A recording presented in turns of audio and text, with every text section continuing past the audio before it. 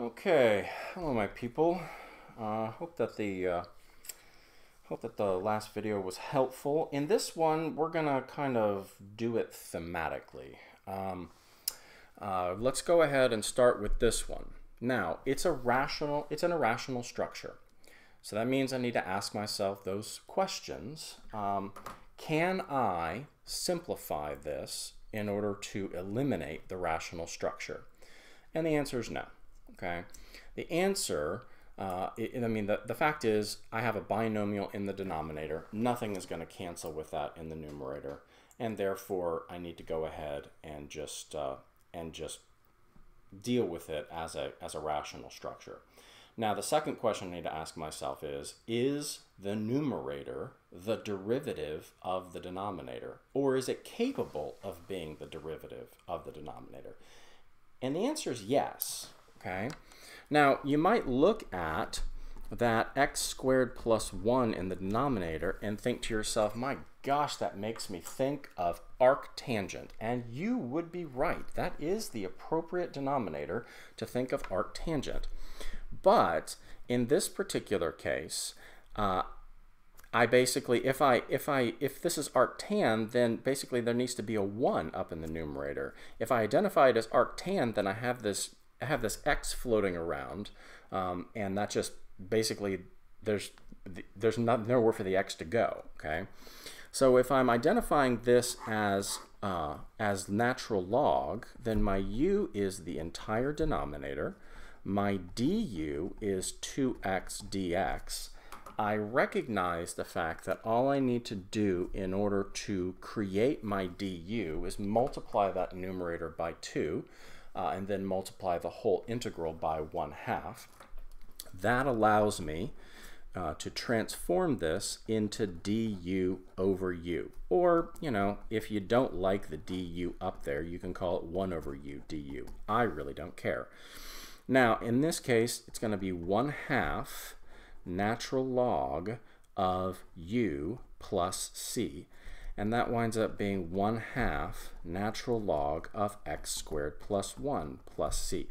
Now remember, when we integrate using natural log, we need to be ready to plot the absolute value bars around the argument of the logarithm. Uh, the reason that there are no absolute value bars here is the fact that x squared plus 1 can never be negative. It can never be 0 because x squared is non-negative non-negative plus 1 is always positive, okay? Now, in order for something like this to actually be arctan, it has to be something like this. It needs to be x to the fourth plus 1 because, the because this numerator can't be the derivative of the entire denominator it needs to be the derivative of the thing being squared. Okay, and if I have x to the fourth plus 1 in the denominator, the x squared is being squared to create that x to the fourth. And this actually is a legitimate u substitution problem for arctan. And I get 2x dx.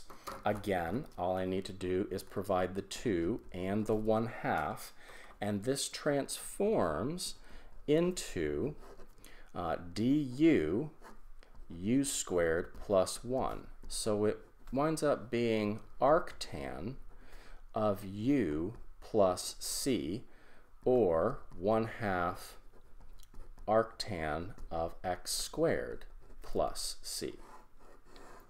Okay, now do you see the relationship between those two problems?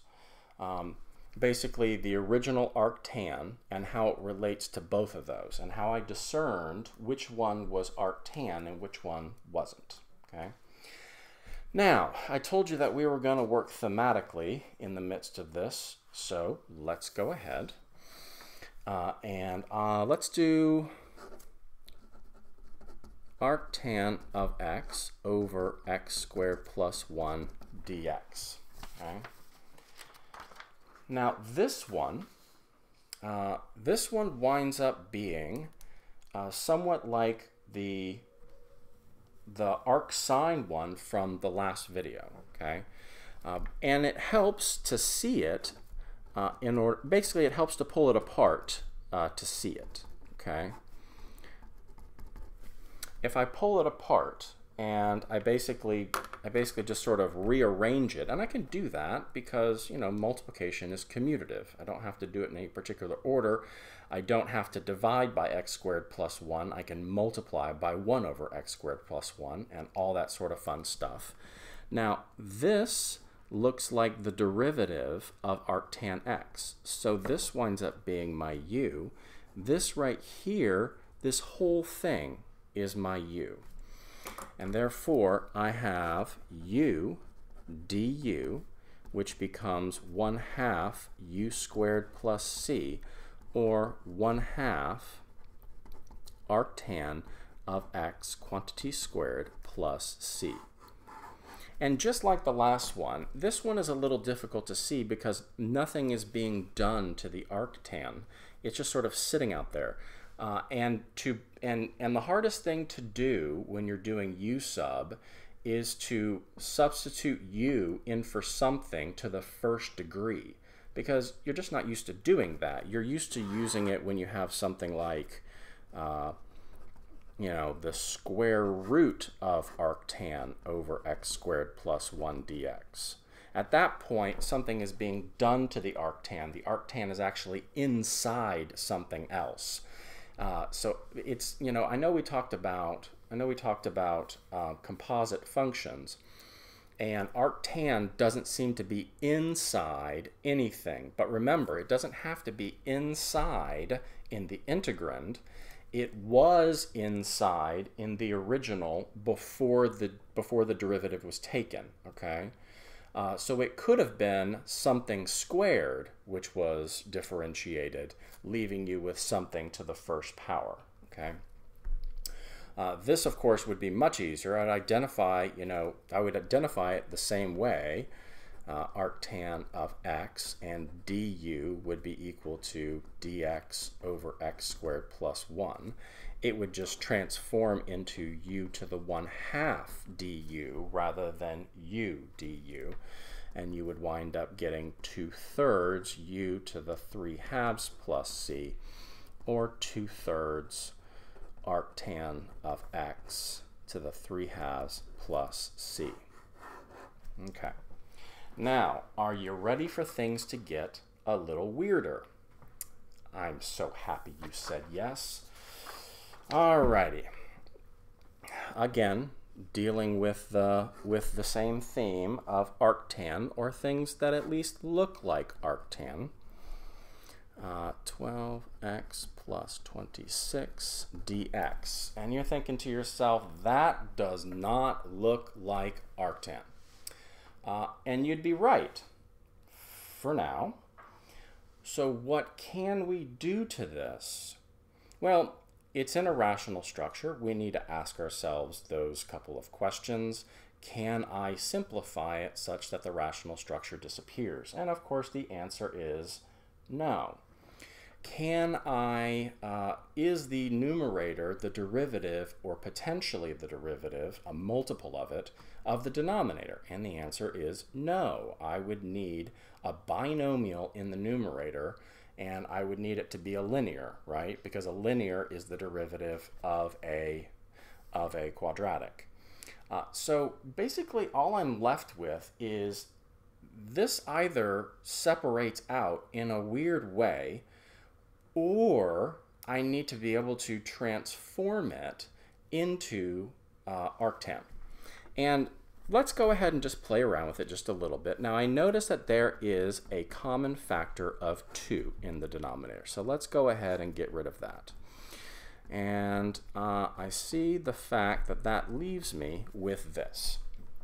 Now, um, x squared minus 6x plus 13 is a little bit underwhelming. But I notice that if I look at, look at it this way, that has the great beginnings of completing the square. And if I wanted to complete the square, okay, and I get a perfect square trinomial, that perfect square trinomial could then be factored into a binomial squared. And you would have something squared plus a constant in the denominator, and that would basically be arctan. Okay, well, let's ask ourselves, how would we do that? Well, I know that I need to take half of negative 6, which is negative 3, and square it, which is 9. I'm going to go ahead and borrow 9 from the 13 and get x squared minus 6x plus 9, and what's left is 4. That means uh, that I have x minus 3 squared plus 4 dx. Now, I could use the formula, uh, the formula that I showed you the last time in terms of uh, in terms of arctan uh, integration formula. But I'm, I'm just, I don't, I hate those things. Uh, so what I'm going to do is I'm just going to multiply both the numerator, okay, and the denominator by 1 fourth. And when I do that, uh, I have, I'm going to go ahead and actually then, once it's in the numerator, I'm going to pop it outside. So that becomes 1 eighth, uh, 1 over x plus, or x minus 3 over 4 squared plus 1 dx. And what I should have done is I actually should have left this as 1 fourth uh, because now I need u to be identified as what is being squared and my du winds up being 1 fourth dx. Okay, 1 fourth dx. And there you go. That means that I have 1 half du u squared plus 1, and that leaves me with arctan of u plus c, or 1 half arctan of x minus 3 over 4 plus c. And there we go. Okay. Whew. Oh, no, no, no. Uh, sorry. One thing that I did wrong. This isn't a 4, this is a 2. Sorry, because because it's squared, the 4 transforms into a 2. Uh, but that, that isn't a huge deal. Leave this as 2, and this becomes 1 fourth, uh, and this is 1 fourth. Sorry. Uh, and that's a 2. But you get the idea, okay? Uh, if you wanted to do it by means of the formula, uh, and the formula has lots of U's and A's and stuff like that. Here, let me get the book out and we can take a peek at it. Uh, it's in the back. Um, it's on it's on reference page uh, six. Okay, it's this one right here. Okay, uh, and U of course is your is your uh, expression in terms of x. So basically, if I see the fact that my formula gives me something like,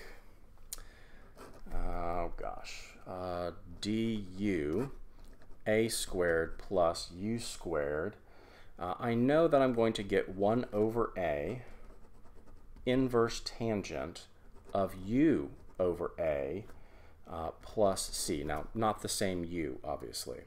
Uh, I it's it's you know it's too formulaic. I don't like formulas. You guys know that. Uh, but I mean, you could do it that way, and if you choose to do it that way so that you don't make the same mistake that I just did, then by all means, you know, uh, get down with your bad self. Um, last problem for this particular video, uh, and this is a tricky one. Let's say I have the integral from negative 1 to 1 of arcsine x over x squared plus 1 dx. Well, that sort of blends together the ones that we've had in the past. That doesn't make me very happy. Um, so how do I do this? Obviously, uh, if I split it up, that's not going to be helpful, okay? Because uh, this right, this right here, okay, that's the derivative of arctan. This is arcsine, so how in the world do I do that? Oh, sorry. I'm talking too fast and, and not paying attention. I apologize for that.